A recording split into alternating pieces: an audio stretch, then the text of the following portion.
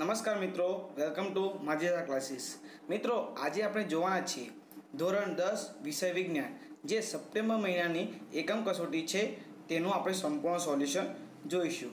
તો તમે અમારા ચેનલમાં નવા હોય, તો મિત્રો ચેનલને સબસ્ક્રાઈબ કરો અને બાજુના બે લાઇકન પર ક્લિક કરીને નોટિફિકેશન ઓન કરો, જેથી તમને અમારા વિડીયોની અપડેટ મળતી રહેશે. હવે મિત્રો, આપણે સમય ન બગાડતા શરૂઆત કરીએ છીએ. તો મિત્રો, આપણે જોઈએ વાત વિભાગ એની એમાં મિત્રો પ્રશ્ન એક આપેલ છે, જે છે, નીચેનામાંથી કયો બૌદ્ધિક ફેરફાર નથી? તો તેનો સાચો જવાબ બનશે સી પ્રવાહીકૃત પેટ્રોલિયમ વાયુ એલપીજીનું દહન. ત્યારબાદ પ્રશ્ન નંબર બે. ઘરની દિવાલોને દોરવા માટે ચૂનાનું નીતરું પાણી વપરાય છે. તેનું રાસાયણિક સૂત્ર નીચેના પૈકી કયું છે? તો તેનો સાચો જવાબ છે કેલ્શિયમ હાઇડ્રોક્સાઇડ. એટલે સીએ ઓએચ ટ્વાઇસ ત્યારબાદ પ્રશ્ન નંબર ત્રણ. કોઈ પણ માધ્યમનો નિરપેક્ષ વક્રીભવના હંમેશા ખાલી જગ્યા હોય છે. તો મિત્રો તમારા જવાબ આવશે ગ્રેટર ધેન એક, એટલે કે વિકલ્પ બી ત્યારબાદ પ્રશ્ન નંબર ચાર, નીચેને દર્શાવેલ વસ્તુઓના સમૂહ પૈકી કયો સમૂહ ફક્ત અવિગણનીય વસ્તુઓ ધરાવે છે? તો અહીંયા ચાર વિકલ્પ છે. બરાબર મિત્રો, એના વિકલ્પો જોઈએ તો ડી આપણો વિકલ્પ બનશે બે અને ચાર, એટલે કે પોલિથીન પ્રક્ષાલક પીવીસી અને વિકલ્પ ચાર છે આપણો પ્લાસ્ટિક, બેકેલાઇટ ડીડીટી હવે મિત્રો, આપણે જોઈએ વિભાગ નંબર બે, એટલે બી. પ્રશ્ન નંબર પાંચ. અહીં મિત્રો, વિડીયોને સ્ટોપ કરીને તમે પ્રશ્નનો જવાબ લખી શકો છો. ત્યારબાદ મિત્રો, આપણે જોઈએ પ્રશ્ન નંબર છ. અહીંયા મિત્રો, પ્રશ્ન નંબર છ છે આપણો પ્રકાશનું વક્રીભવન એટલે શું? પ્રકાશના વક્રીભવનના નિયમ લખો. તો મિત્રો, તમને અહીંયા જે સમજાયેલ છે એ વક્રીભવનનું એટલે શું? તે વીડિયો સ્ટોપ કરીને તમે જવાબ લખી શકો છો. ત્યારબાદ મિત્રો, આપણે જોઈએ નેક્સ્ટ એમાં જ. મિત્રો, પ્રશ્ન નંબર સાત. તમે કચરાના નિકાલને સમસ્યા ઓછી કરવા શું યોગદાન આપી શકો છો?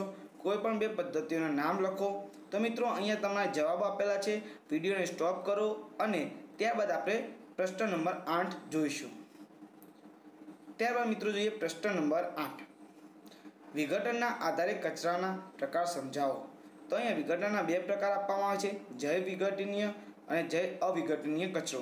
તો વિડીયોને સ્ટોપ કરીને તમે આનો જવાબ લખી શકો છો.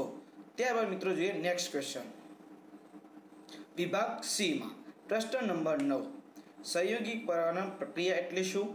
અને રાસાયણિક સમીકરણ આપી સમજાવો. તો મિત્રો, વિડીયોને સ્ટોપ કરો અને ત્યારબાદ આપણે નેક્સ્ટ ક્વેશ્ચન જોઈશું. ચાલો મિત્રો, આગળ જોઈએ આપણે. પ્રશ્ન નંબર દસ. અહીંયા તમને પ્રશ્ન પૂછે, લેન્સનો પાવર કોને કહે છે? લેન્સના પાવરનો એસઆઈ એકમ જણાવો અને લેન્સના પાવરનો લેન્સની કેન્દ્રની લંબાઈ સાથેનો સંબંધ દર્શાવતું સૂત્ર લખો. તો મિત્રો, અહીંયા વિડીયોને સ્ટોપ કરો અને તમારા જવાબ જે લખવાનો હોય છે તે આના સાથે મેચ કરો. તેથી તમને પણ તમે જે લખ્યું છે એ યોગ્ય લખ્યું છે કે નહીં તે તમને ખબર પડશે. ત્યારબાદ મિત્રો, આગળ એમાં જ જે પ્રશ્ન અધૂરો છે તે. બરાબર મિત્રો? અહીંયા વીડિયો સ્ટોપ કરીને તમે લખી શકો છો. ત્યારબાદ મિત્રો જોઈએ પ્રશ્ન નંબર અગિયાર. નીચે આપેલી આકૃતિનું કાળજીપૂર્વક અવલોકન કરી તેને સંબંધિત પ્રશ્નોના ઉત્તર આપવાના રહેશે. તો મિત્રો, અહીંયા તમને પ્રશ્ન આપ્યા છે ત્રણ. બાજુની આકૃતિ આપી છે. તે તમારે વીડિયો સ્ટોપ કરીને જવાબો લખવાના રહેશે.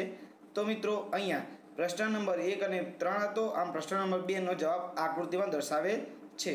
તો મિત્રો, તમને આ વીડિયો પસંદ આવે તો લાઈક કરજો કોમેન્ટ કરજો અને શેર કરજો. બરાબર મિત્રો? હવે જોઈએ આપણે પ્રશ્ન નંબર બાર જે વિભાગ ડીનો છે. તે માટે તમારે બે લખવાના હતા. અહીંયા મિત્રો આપણે એક જ લખવાના છે. તો આપણે એકનું સોલ્યુશન આપેલ છે. તો મનુષ્યના શ્વાસોશ્વાસની પ્રક્રિયા સમજાવો. પ્રશ્ન નંબર બાર છે. તો વિડીયોને સ્ટોપ કરીને તમારા જવાબ સાથે મેચ કરતા રહેજો મિત્રો. તો મળીએ મિત્રો નેક્સ્ટ વિડીયોમાં. જય હિન્દ, જય ભારત. જો અમારો વીડિયો ગમ્યો હોય તો લાઈક કરો કોમેન્ટ કરો અને સબસ્ક્રાઇબ કરો.